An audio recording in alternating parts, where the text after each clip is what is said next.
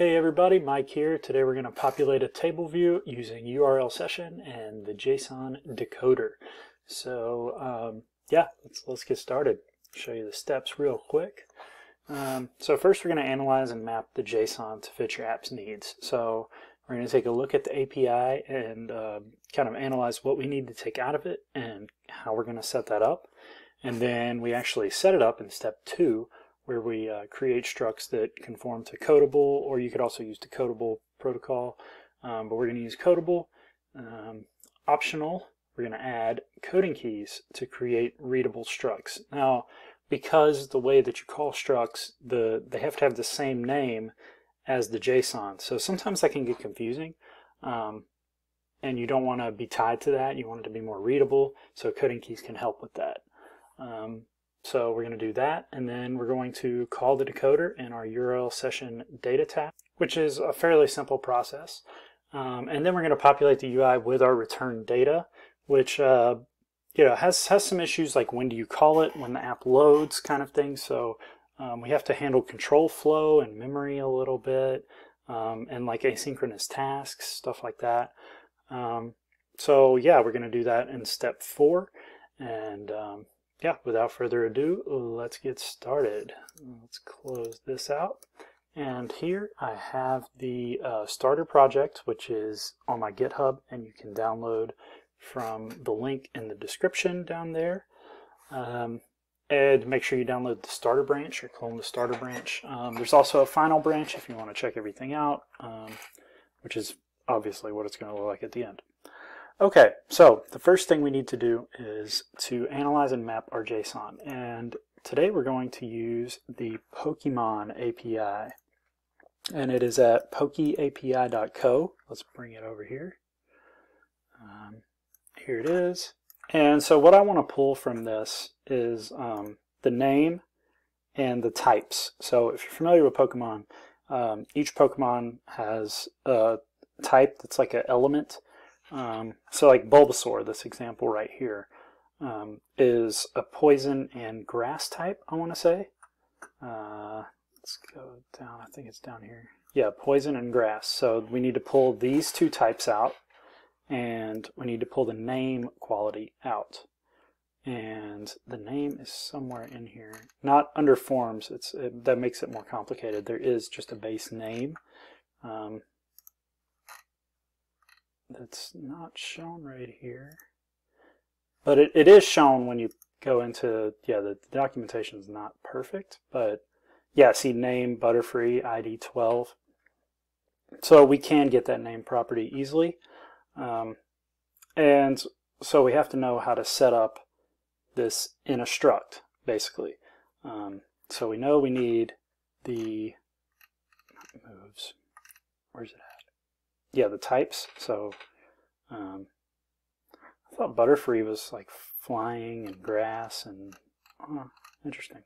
But uh, regardless, we're going to uh, pull the name out and we're going to pull the types out. So um, in order to do that, uh, since this is, you know, everything's kind of staggered here, um, and if, especially if you're new to the whole decoder thing, I'd recommend using quicktype.io, and I've already um, pasted in the JSON that we need. So basically what I did was I took this along with the with the end brackets, the end brackets here, um, and then I also took name and then as you can see put a comma after that. And then the, the types it kind of goes you know it's like nested within each other so type, type. Um, so here's what we have right here. And so basically, we're going to just copy what we need. We don't need the URL out of here. So let's just take this. Well, we're not going to use foundation. You know what? How about we type it out ourselves? So I always find that I'll learn better when I type it out myself anyway.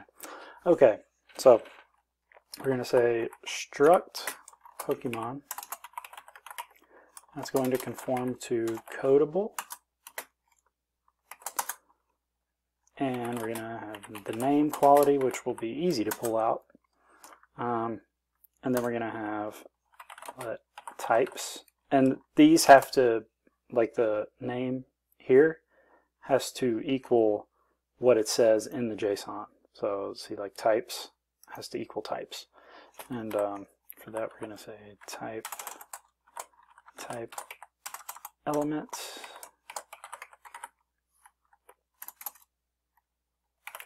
which is how um, that's how JSON decides like what they're gonna like an element basically is some is like an array that has you know items in it so that's how it decides that um, and then in the struct yeah we have to nest them as well so the struct type element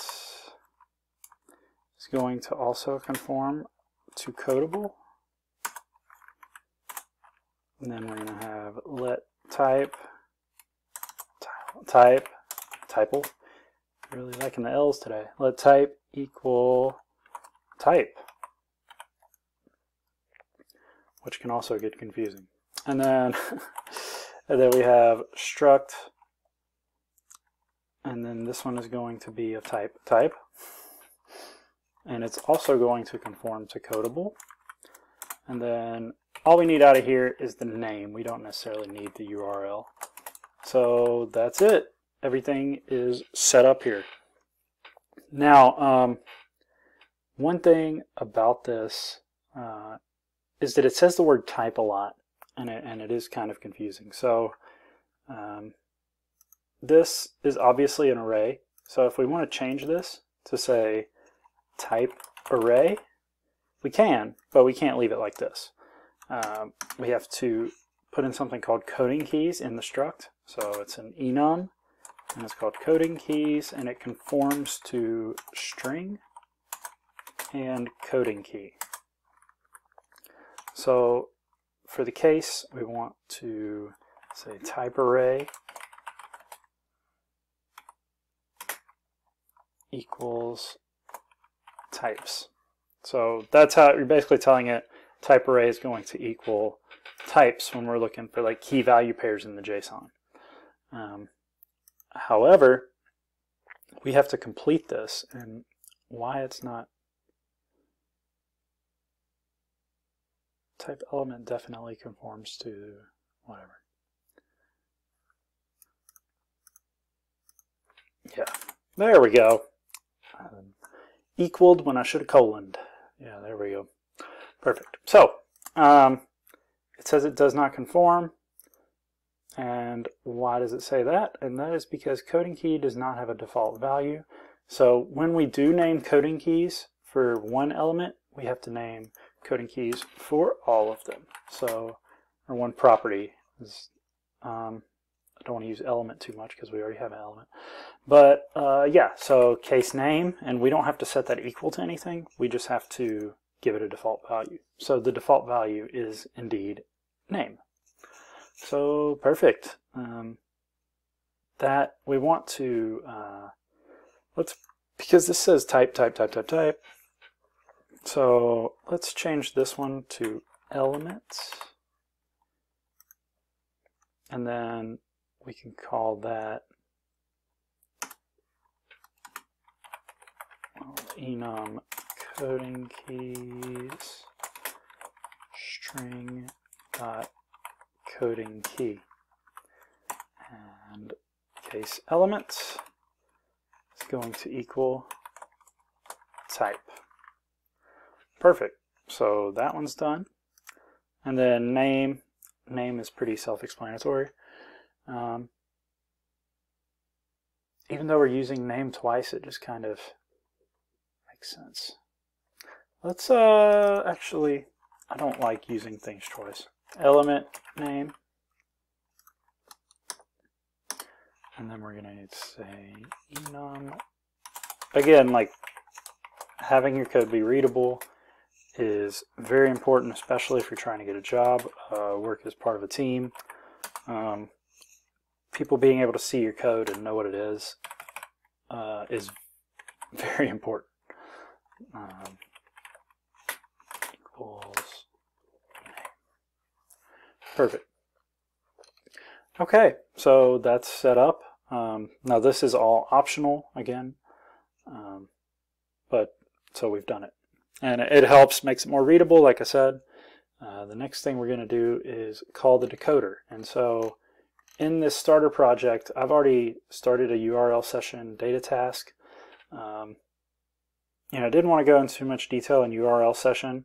I have a video on URL session if you want to check that out where I explain it in a little more detail. But um, for this, it's, it's mainly focused on the decoder and then populating the table view. So yeah, let's get started with the decoder. Um, so you see we got the data task with data response error, all that good stuff. So we're going to say if let data equals data. So if it returns something, we're going to guard let, and we're going to say Pokemon equals, and we're going to try because it is a, um, it does throw an error, the JSON decoder. So JSON decoder, and then decode. Let me stretch this out so you guys can see it all in one line, make it a little easier.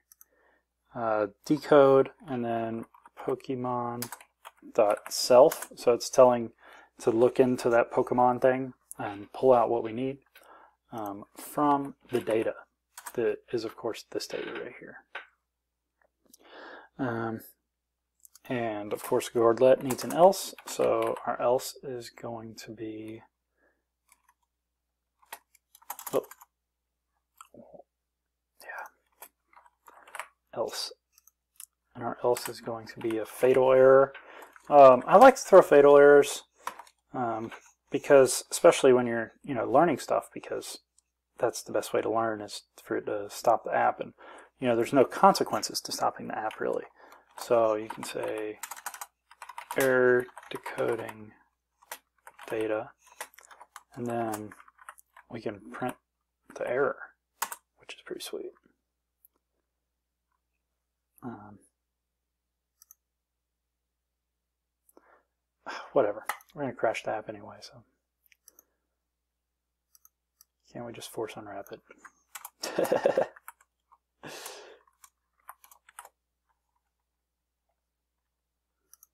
All right, there we go.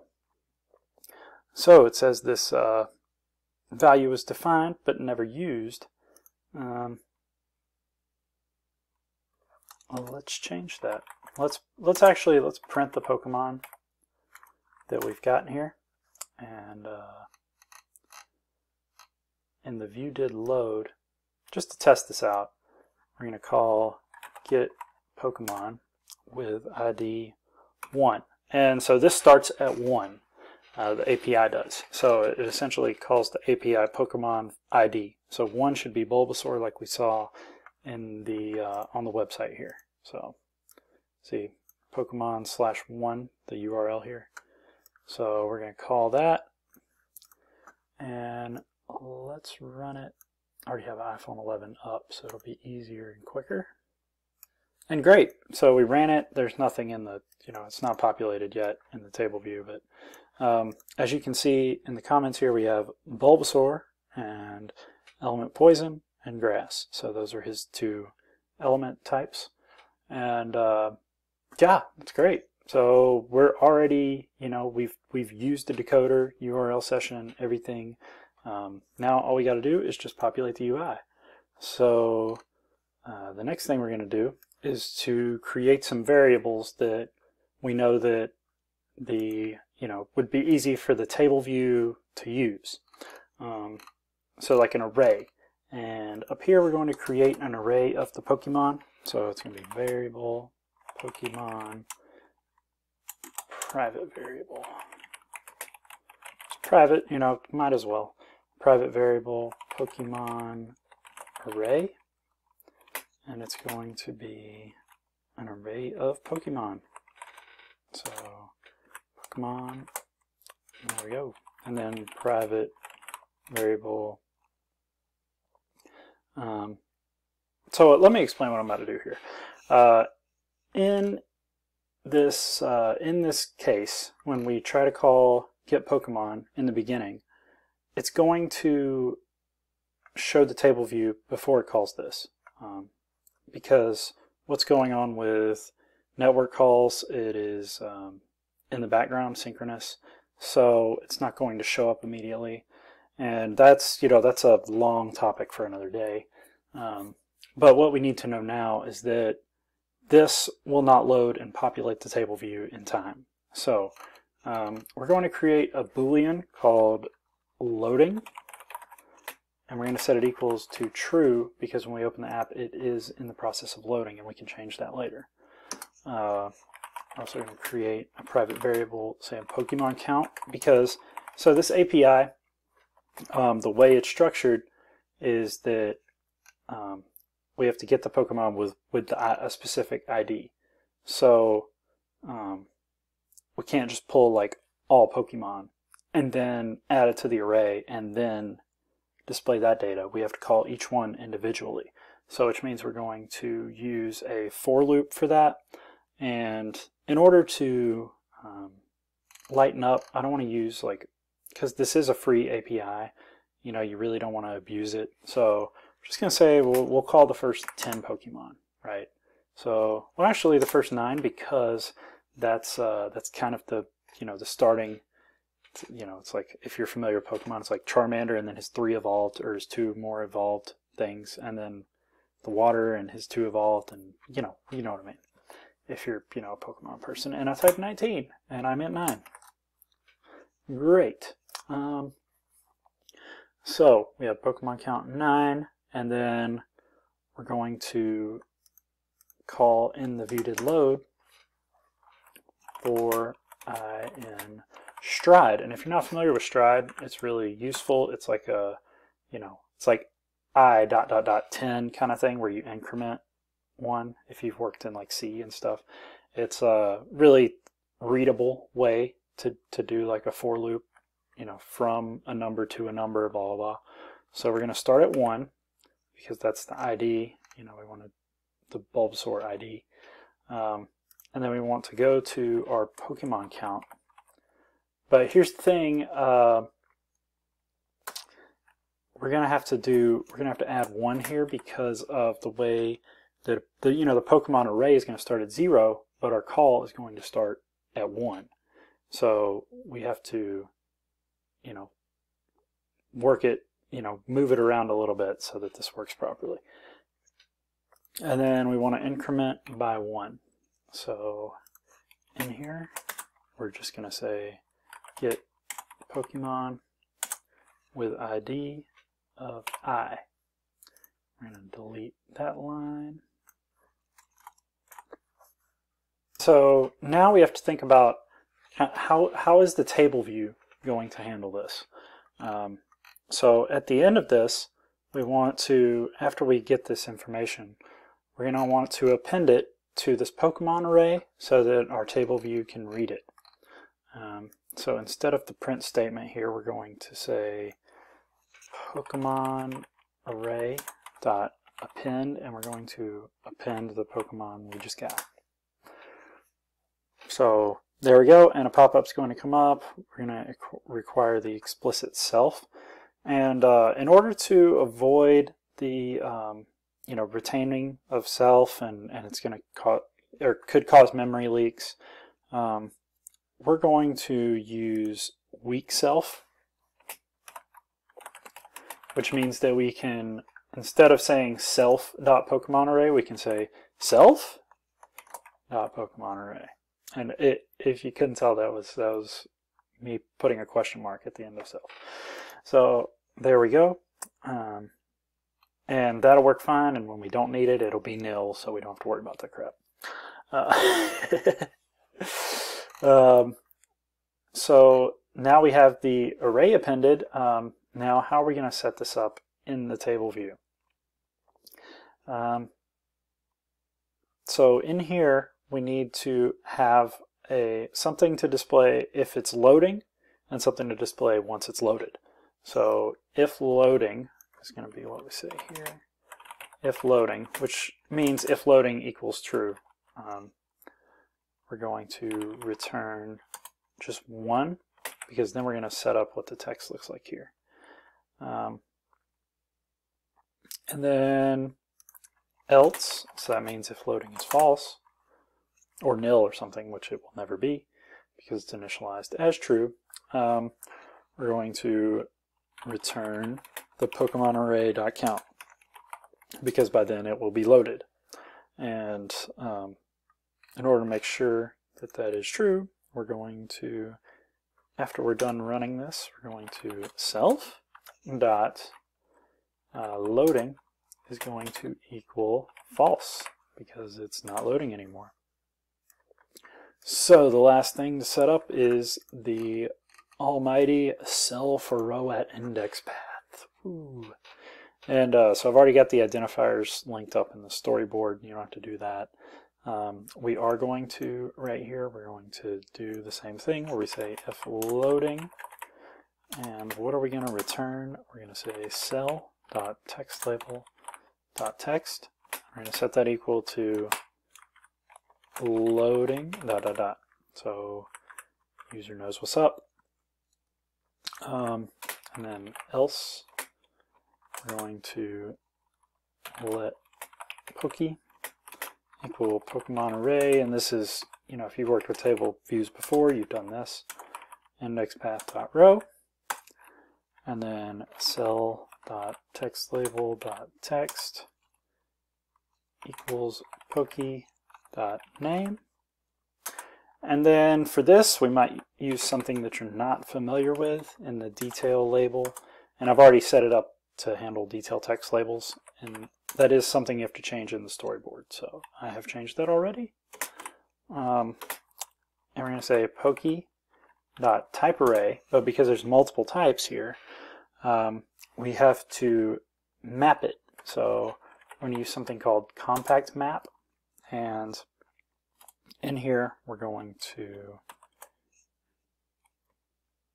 this this uh, dollar sign zero essentially iterates over the array and pulls out the item. So the zero dot element dot element name, and so you can see it's going into